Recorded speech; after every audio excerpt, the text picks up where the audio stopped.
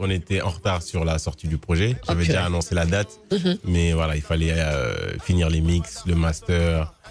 Et euh, Il y a Sam qui il est là en train de bouger la tête. Voilà, tu dis pas la vérité. ouais, non, si, C'est- Il dit la vérité. Non, si, Il dit on, la a, vérité. On a, on a fait des séances de genre, euh, je sais pas, de- on a fait des 20 heures de studio. 20 heures par jour. Ouais. Ouais. Et des moments, on restait vraiment au studio jusqu'au lendemain, 13 heures. Bon voilà, on a beaucoup euh, euh, bossé pour justement que musicalement, Mhm. que tout sonne vraiment bien, bien, bien. Donc voilà, c'est vraiment un projet dont je suis fier. Mhm. On a toute une équipe qui s'est donnée à fond dessus. Et euh, voilà, une fois que c'est sorti, voilà, on, le, on est tous contents. Quoi. Non, mais tu as vu les retombées, je veux dire, Ouais. les critiques des gens. Mhm. C'est sorti un vendredi. Mhm. Et samedi, dimanche, sur tous les réseaux sociaux, tout le monde se dit, tout le monde disait, allez télécharger. C'est ça que j'ai kiffé en fait. Ouais. Tout le monde est allé dire, allez télécharger. Et t'as senti cette espèce de solidarité au lieu, et il y a moins de complexe. Oui. C'est-à-dire le fait que tous les Sénégalais soient sur les réseaux sociaux à dire, allez télécharger l'album de Nick, c'est une tuerie, ban son, des trucs comme ça. Ça m'a fait plaisir parce que d'habitude, ils disent, boy, gis Drake bi. Mm. Sam qui est, tu présentes Sam. Sam, il est qui? Alors, Sam, c'est euh, c'est l'ingénieur de son Ouais. qui a mixé et masterisé tout le projet. D'accord. Donc euh, voilà. c'est c'est- Donc c'est à lui qu'on doit la qualité du son Exactement. euh, et euh, certains arrangements aussi? Oui. aussi. Ok, d'accord. exactement. Donc c'est voilà, c'est quelqu'un qui a pris tout le projet comme le, comme le sien. Mhm. Et euh, voilà, il a bossé dessus euh, comme pas possible quoi. Donc c'est lui qui a fait tous les mix, tous les masters. C'est lui que je que je que je, que je prenais en otage. Oui, c'est lui. Mais Sam, comment tu vas? Merci. Tu viens, tu viens d'où? Mets bien le casque, voilà. Tu viens d'où, Sam Je viens du Bénin. Tu viens du Bénin. Yep. Comment ça, la connexion avec Nick, ça s'est passé comment Bah, en fait, euh, il était passé une fois à Cotonou Mhm. euh, pour un festival. Mhm. Et euh, c'est à ce moment-là qu'on s'est rencontrés. Et, euh, et euh, tout de suite, en fait, il y, a eu- il y a eu quelque chose. Et on a, gardé, euh, on a gardé de bons rapports. Et euh, il y a quelques années, il y a deux, trois ans de ça, quand Ouais. je m'a catapulté ici, on s'est recroisés. Ouais. On s'est recroisés là où je travaillais, Mhm. où il y était aussi, c'était Oxygène, African Victory. Mhm. Et voilà, on a commencé à travailler ensemble sur des projets, sur euh, Excuse My Wall of Honor, Mhm. Et euh, voilà, sur cet album-ci, sur euh, The New List. Oh, mais tu as vu la qualité du projet. la qualité du, du- de la chose. C'est bien un mix parce que euh, tu t'es entouré de. Pour les featuring, il y avait Aida Sok, Mami Victory. Mais moi, j'aimerais qu'on aille du côté des producteurs et des beatmakers. Mhm. Tu t'es entouré de Passa Beats. Le passe à beat, le Flagrant flagrant délit. délit, Voilà. De qui encore?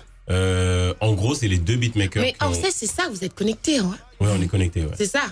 Tu travailles avec eux, tu es un peu raciste, un peu cistra. Non, non, non.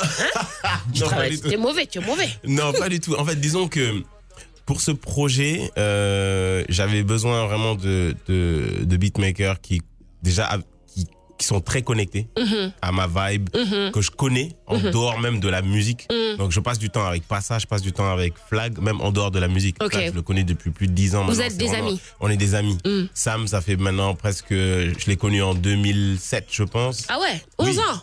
Ouais, donc du coup, euh, ça fait longtemps.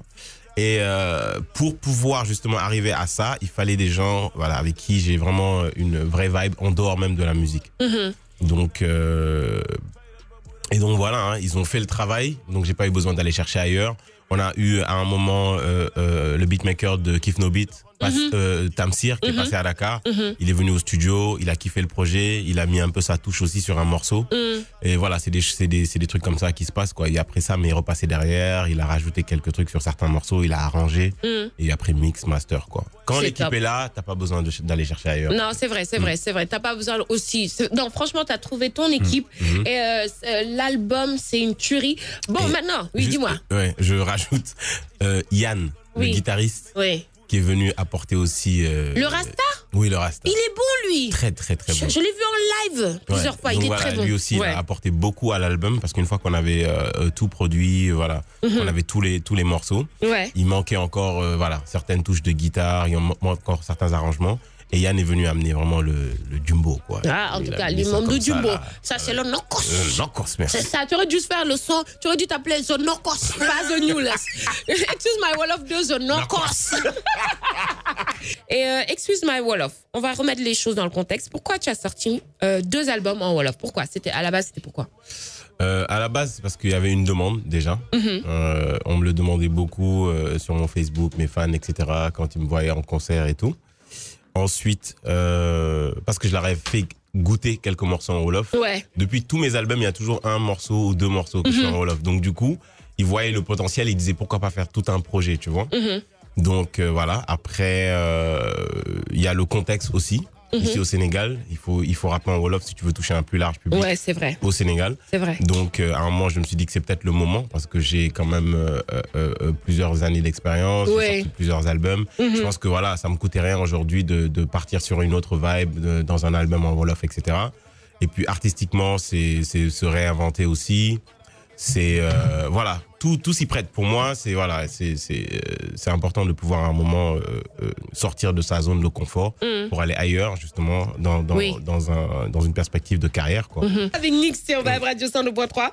Et euh, Nix, franchement, la guitare.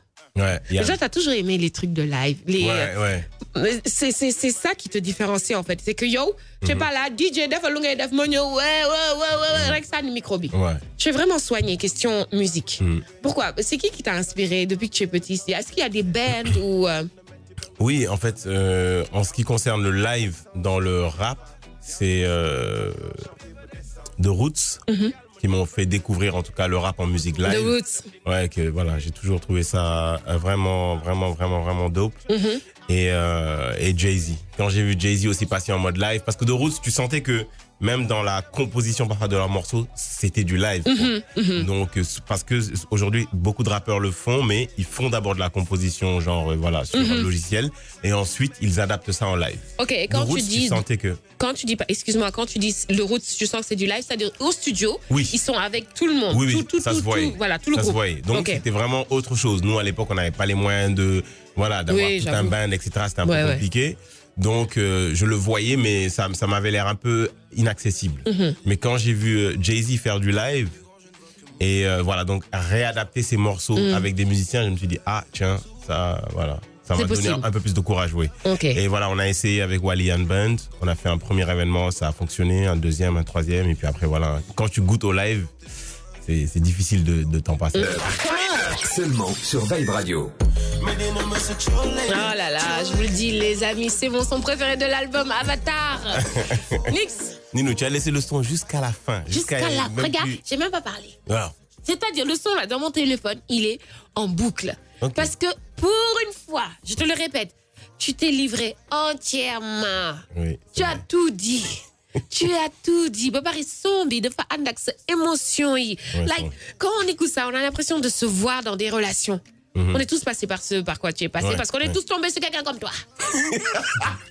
waaw ku soxor dëgg suñu xol plus mu koy dëgg plus ñu koy bugg. Hein?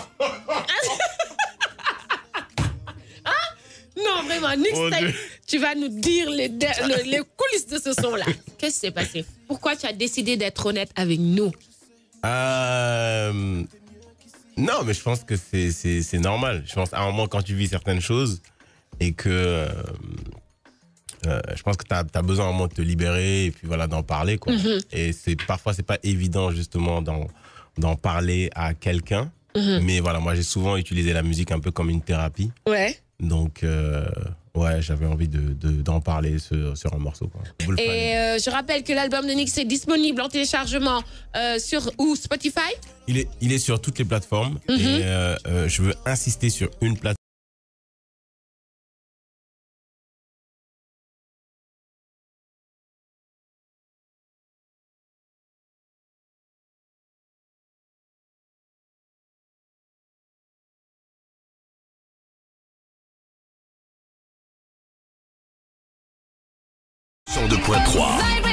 Le nouveau son.